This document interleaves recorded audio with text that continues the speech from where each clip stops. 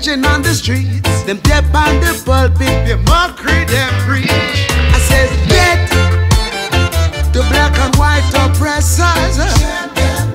Rasta said, get the black and white, the black and white suppressors. The laws you're enforcing. Today you must pay, yeah, yeah, yeah. Get, get the black and white, the black and white oppressors.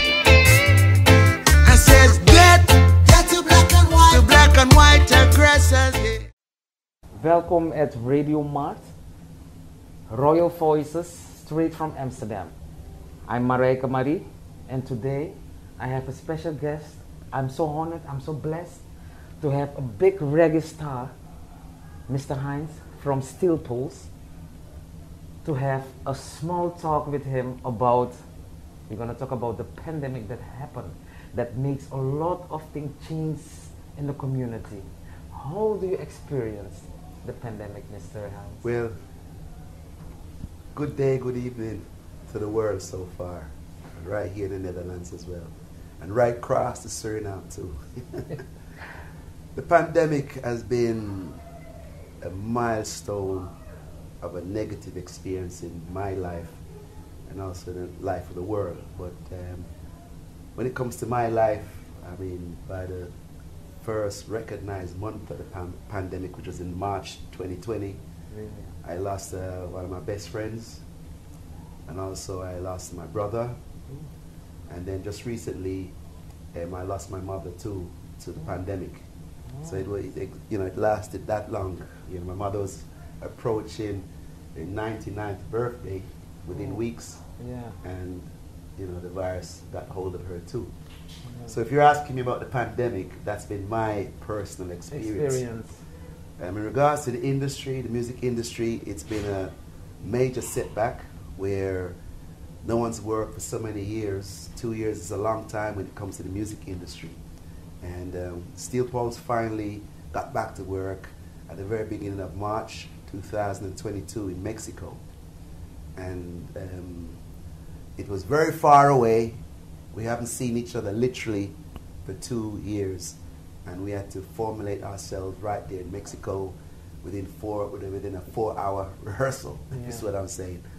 Um, you know, um, everybody's in different parts of the world. Our drummers in Jamaica, our horn players in the United States, you know, our bass players in the United Kingdom, and myself is in the Caribbean as well, in the French Caribbean. So, not seeing each other, it meant um, extra hard work and extra hard focus to remember the songs Yeah. and to remember the the energy behind the songs as well because it's like that you know you, you, you build up a momentum when you're performing all the time all of a sudden that's cut short.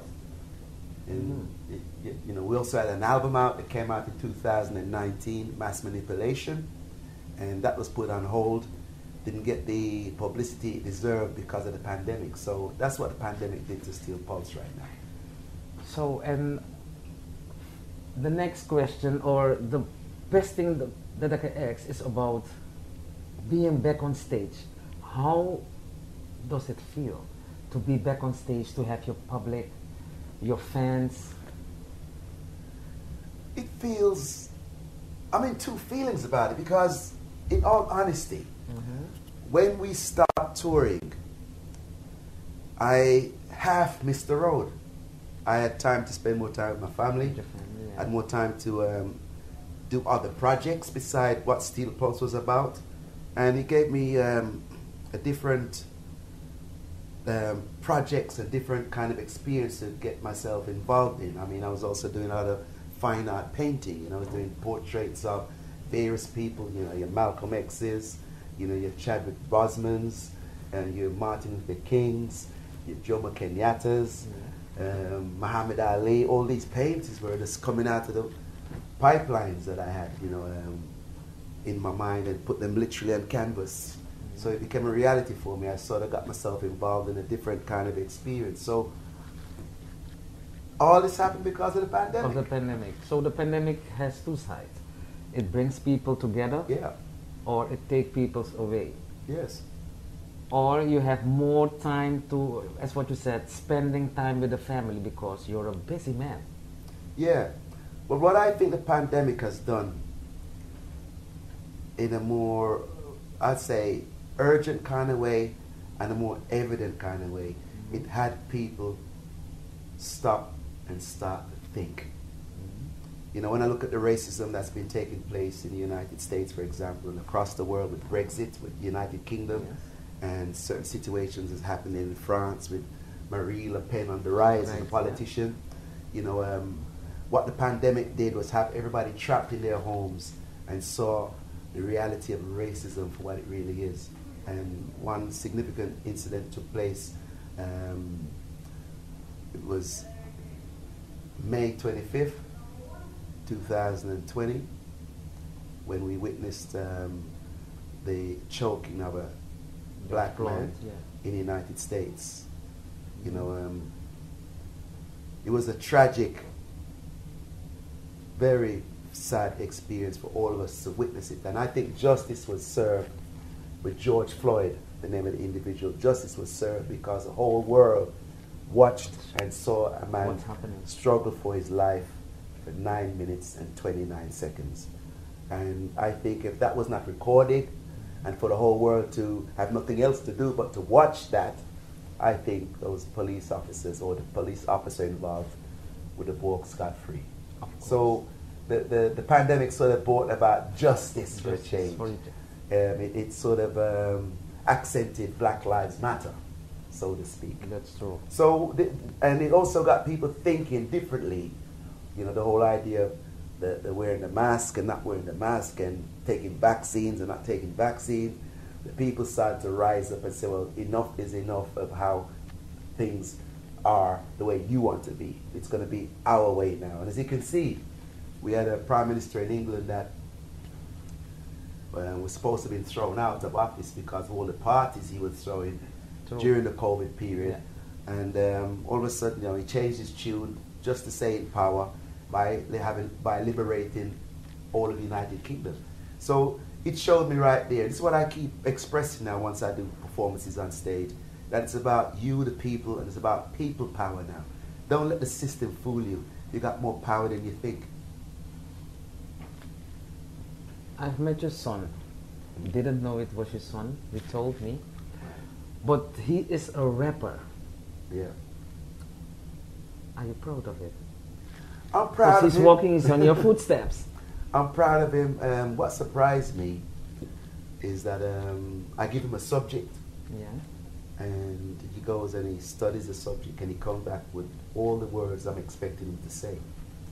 Um, he didn't go through the kind of formal schooling that I went to, so his a lot of his um, intuition and the way he expressed himself has really come from the street. So, I mean, I featured him on the Mass Manipulation album. Um, he was on a track called uh, World Gone Mad, and he was also on a track called Higher Love, Rasta Love. And all those lyrics are all his own, and you know, I'm very impressed with what he came back uh, to deliver. And I only wish he could do more of Steel Pulse's projects, where he takes over from from- where, where I left off as far as what I have to say. But he's in a world where you know the, the rap and the gangster and the women and all that kind of stuff is part of the youth's experience. But I really like to know that he could do more political stuff. Yesterday, Mhm. after your son, we talk about your son, but now we're going to talk about Nijmegen. How did you ex Nijmegen yesterday night? You was Name, that's the name of it. Nijmegen, I call it Ninja Man. Ninja Man. Ninja Man. Nijmegen. Namiha. Yeah. Mhm. How did you experience the performance in Nijmegen and Amsterdam? Just maybe the vibe. How do you find it about the vibe or? Well, the turnout in Namiha Mm-hmm. was excellent. Yeah. I don't remember performing there before. No, it's the the first sounds- time in First Nijmegen. time there. Yeah. And the, the, the performance, the, the energy's been, like I said to you, the energy's been building up each time we perform on stage. I think uh, Nehemiah was at a good show, but Amsterdam probably was a better show. And I think tomorrow night in the other town in called Groningen. Groningen was supposed to be a better show too when we perform because it's all about us, you know, getting us chance to rehearse, practice, jam with each other, feel each other out, and hope that we improve as each night goes by. So uh, the best of Steel Pulse is yet to come. come. So that's the thing that I'm gonna ask now. What's the what we can expect from Steel Pulse? What more? More fight, more energy, What- more everything inside. Well, Revolution. revolutions and everything else. When it comes to Steel Pulse, I always thought our style of music is on a cutting edge. I, I always thought and always think that our subject matters, the songs that we choose, the subjects that we choose to sing about, are also different than normally than what everybody else does as well. So um, I'm expecting this time round for more people to gravitate to Steel Pulse than ever before. Seen what's out there, and they've seen what's been out there for quite some time, and I think we're ripe enough now for people to start seeing the difference between ourselves and the other bands that are out there. I'm not saying that we're better than any, any other band because, you know, every, you know, all these bands that are out there extremely talented, but I, you know, I honestly think that what we have to say um, as subject matters um, is a cut different than what's normally out there. Yeah. For example, um, Mass Manipulation was an album that was written over a number of years. You know, the, the you know songs like um, Black and White Oppressors. I wrote that song years ago, but never recorded it. Yeah. You see what I'm saying? And we have songs like Mass Manipulation, and then The World Gone Mad. That's on the album. Higher Love, Rasta Love, um, Nations of the World. All these songs were written towards the end of the recording experience of the band. And throughout all these years of recording the album, I was praying and hoping that nobody takes those subject matters and turn them into songs. And that prayer was answered. That we went through so many years of recording and putting them on the, the back burner to bring them together as a, as, a package for albums, for a track to be on albums, and to know that the subject matters were still not tackled or handled by anybody else. So that's uh, that's a good thing, I think. And so we hope, or we are keeping the support Mhm. from people, because without people, there's no. That's what you're singing. There's no music. Mhm. If there's no music, there's no life. Because music gives you the energy to do things. Mhm. And what uh, um, what's so nice of music? I don't know how artists get the intuition about putting things on paper and sing it. The real thing that's happening in the world. Mhm. How do you do it? Is it something that you're sitting and you get something in your mind and it's it's like that. It's Yeah. also to do with having conversational pieces with people that I meet on my journey. yeah, and hear what's what's the bee in their bonnet, what's what's um, provoking them, what's bothering them. hmm You know, um, like I said, you know, one of the biggest things that we've been seeing throughout the world of late is uh, racism, especially like I said with the election of Donald Trump. Yeah. and the messages that were perpetuated during his administration, and the same thing that took place with Brexit and all that. So, you know, we saw prejudice, you know, being, you know, a primary subject. We saw poverty being a primary subject. We saw police brutality being a, you know, a, a subject as well. Things like that. The list goes on. So we have a tendency to see something and magnify it, amplify it, and bring it to the, the forefront of everyone's consciousness. Most of the time, some songs, things are not happening yet, but they already know it. Mhm. And that's the beauty of it. Mhm. Looks like Bob Marley singing about there's a mystic, Mhm. uh, there's a natural mystic Mhm. going through the air. Right, And that's what's happening to us. That was the COVID. right. So then you're thinking about how they do it. I'm still imagine how. Well, it's things can be prophetical as you as you um, as you're trying to you know um, convey. You know, having said that, it's it's about it's a it's a instinct you have about reading the world and predicting what you see can happen. When I wrote Wild Goose Chase, it was all about cloning. It was all about test tube babies. It was all about science Getting involved with all kinds of stuff. And lo and behold, this is what's going What's on. going on? We Yeah. talk about mass manipulation, which is a new album. You know that that title was in the you know in the makings for quite some time. And when you look at it, the world right now, the world has been manipulated, Manipulated. in- on a great scale. Yeah, they are You know? turning us into robots. Robots, that's right. Yeah.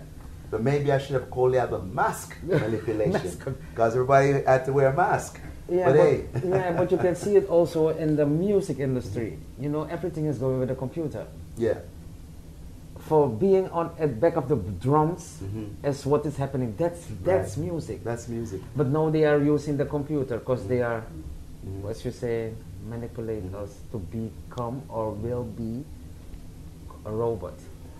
everything's robotic, but what I find that we need to do is to try and know how to use this kind of technology. Yeah. You know, it- you know, it's, it's there for us to use. So there's a way of using it and still try to let the music come over authentic and let it still be part of something that's more heart rendering than mind, Mind rendering. rendering, yeah. That's what I'm saying. And like I said, subject matters will play a part. Once you got a subject matter, and subject matter has you know authenticity to it, you find that the instruments you try to choose around it will be selected on that merit. Is what I'm saying. So I don't really think there's anything wrong with technology, so to speak. It's how we use it, and we, we there's there's no doubt about it. We're gonna have to use it, and I tell you why I'm saying that. Um, there's so many songs that I've written um, over the past five, ten years where, or be part of, where I was not literally there in the studio with someone, where I sent my vocals down electronic via email, via whatever social media provider there is for someone to take the voice Yeah. and put it on their machine and record. it. yeah. Because there's no way I could have been there physically to record it. Mm. Just like a guitar, I would want a guitar from my guitar player. He's all the way in California. Yeah. So he plays his guitar, and I take it and I use it in my studio in Birmingham, England. So there's the positive side of it. Yes, there, so there's a positive side Yeah. of it. It's all about communication. It's all about, you know, like I said, we we we technology had us watch a man Mhm. got choked to death on TV. on TV. Yeah. That's what I'm saying. So if there wasn't if, was, technology, if that was not there, there'd be a lot of people walking free. Free. So we That's can't fight technology. We got to know how to use it. Yeah. That's what I think. We got to know how to use it. I hear people fight technology all the time, and then they say, uh, and next thing, beep beep, and they pick up their mobile phone and say, yes, technology, right here. So I said, what the hell is that about? You're fighting technology, and they're using a mobile, mobile phone. Yeah, that's true. You know, let's make sense out of nonsense. nonsense. Yeah. So, Mr. Hinds, Mhm. it was a, let me say, uh, I'm so blessed to have a talk with you as a Steel Pulse, the big man, Steel Pulse, big man, because there are two of you, the real Steel Pulse. Mhm. So it was a pleasure for me for having you or have the time for us to do something to let people know from the radio, or my radio station, Radio Mart in Amsterdam. And really, I love it. I appreciate Thank it you. that you make time for us for having a conversation. Yeah. I love it. And Okay. let me say this. Yeah. This the- year yeah. is the 40th anniversary since we recorded the True Democracy album and had it released.